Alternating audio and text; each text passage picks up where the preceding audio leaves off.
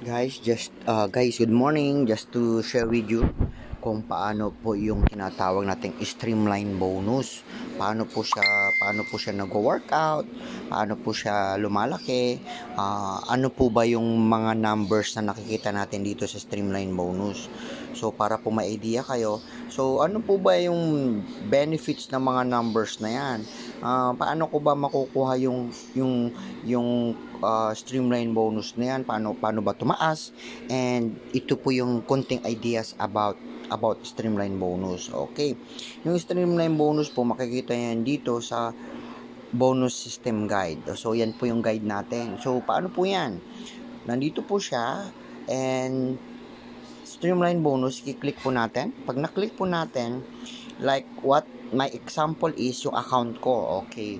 Ngayon po, current my current uh, status in my streamline bonus is level 14. Ngayon, bakit po siya nag zero doon sa next level ko? Actually, uh, need, need, needed po pala for next level. Ibig sabihin po, kaya siya huminto dahil natulungan na po ako ni Crowd1 sa members join after me. Kasi po ang requirements lang ni ang requirements ko lang po para ma-reach yun is 3 million. Pero ang nangyari po, umabot na siya ng 3.8 million, ibig sabihin, kaya siya na zero, yung tulong sa akin ni Crowd1, tapos na. So, what I need to do para po, para po mapunta ako sa level 15, kailangan ko daw po, i, i makuha o i-achieve yung tinatawag na um, uh, tinatawag nating qualification.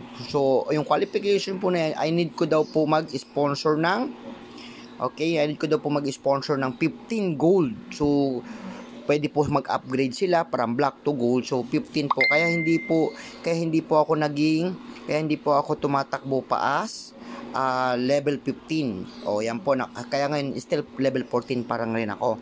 Ngayon, same thing din po yan sa sa nagsisimula lang rin. So, ito po yung ideas sa mga nagsisimula. Ito kasi sa akin medyo medyo 6 months na kaya pero kaya po umabot ako sa level 14. So ito po yung idea sa mga bago.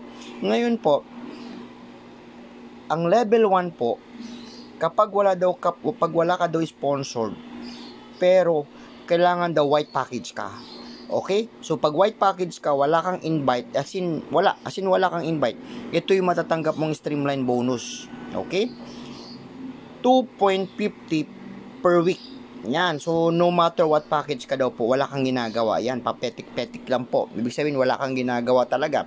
Meron ka 2.50 streamline bonus every week. Yun po yung natatanggap natin na uh, crowd one rewards. Doon po sa sinasabi nilang claim the claim the claim the rewards okay crowd one rewards so ngayon paano po nakakatulong si crowd one paano paano po mag-move yung streamline bonus mo ibig sabihin po niyan kailangan daw ni Crowd1 Rewards magpa-join ng 250 na tao.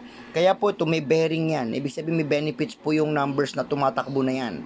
Okay? Kailangan daw meron siyang 250 para daw ma-qualified ka doon sa streamline level 1. Okay? So, ngayon, pag gusto mo daw tumaas, mag-invite ka. Isa lang. Pag white package ka, isa lang. So, ngayon mababago yung streamline bonus mo, magiging 5 per week. And ngayon po, ang kailangan ipasok ni Crowd1 daw sa company is 10,000. O mo, tinutulungan ka ni Crowd1 magpasok. Ibig sabihin, yun daw ang kailangang mag-join na tao sa Crowd1 para tumakbo yung tinatawag na Crowd1 Rewards mo weekly. So ngayon, pag naka-invite ka ng tao, yan, so kailangan ni Crowd1 Rewards mapasok o ma-join after use 25,000 and and ito po weekly ang makukuha mo 7.50. Ngayon, white package ka pa rin, naka-invite ka ng tatlo.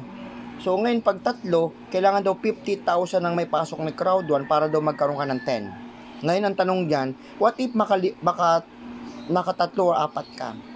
Ngayon nakalima ka, ang mangyayari niyan, hindi ka na mabibigyan ni crowd 1 ng ng additional na na rewards kasi hindi ka po nag-upgrade ng block. 10 pa lang rin. Puro 10 lang yan. Ngayon, para siya maging 15, Okay? I mean, tuloy-tuloy kang may 10, 10 crowd one rewards every week. Pero kung gusto mo daw maging 15, yan, kailangan mo daw mag-upgrade ng black. Okay? So, 15. Pero ang company, kailangan magpa-join ng 75 na tao. And, magiging level 5 ka na nun. So, and so on and so forth yan. So, makikita nyo po yan dito para may ideas po kayo bakit po siya nag stop Ibig sabihin, kailangan mo na mag-upgrade. Okay? Kailangan mo na mag-upgrade to gold. Kailangan mo na mag-upgrade to uh, titanium. Kaya tingnan nyo po pag titanium, aabot po kayo up to 2,250 per per week yun. Pero ito pong requirements, kailangan daw po mayroon kang 15 titanium, kailangan daw po may 15 gold ka, kailangan yung company mag, magpa-sign up ng 10, 7, uh, 7.5 million na tao, 10 million na tao, 4,000, 4 million na tao, o 3 million na tao. So yan, ganyan po. So ngayon, ako po, na, naka-hold pa yung, yung level 15 ko kasi bakit po? Kulang pa po ako ng uh, gold member So, na mag-upgrade or mapasign up na gold. So, kaya po naka-hold lang ako ngayon sa sa 750. So, yung 1,000 po hindi ko pa nakakuha. Ganun po yung ideas ng Crowd1 Rewards. So, kaya po dito, tandaan nyo po, ang Crowd1 Rewards para siyang digital asset na pagdating po ng quarterly, binabayaran po sa atin yan. So, yan tinatawag na uh, payouts quarterly. So, libre lang po itong binibigay sa atin, kaya wag po tayong madaling mag, magmadaling i, i, i cash out. Huwag mo natin isipin ka, ika-cash out kasi hindi naman po nakaka-cash out yan. Ang gagawin lang po natin is hintayin natin quarterly para po magkaroon tayo ng, uh, ng dividendo or crowd one payout. So, yan. And don't expect too much. Ayan po, tip ko lang po sa inyo, don't expect too much. Especially yung mga bago uh, kami nga na matagal na, we don't expect too much na malaki agad na makukuha namin. Kasi bakit po? Nagsisimula pa lang po yung company. Okay? Depende po yan kung magkano pong price value na ibibigay na sa atin ni Crowd1 Rewards.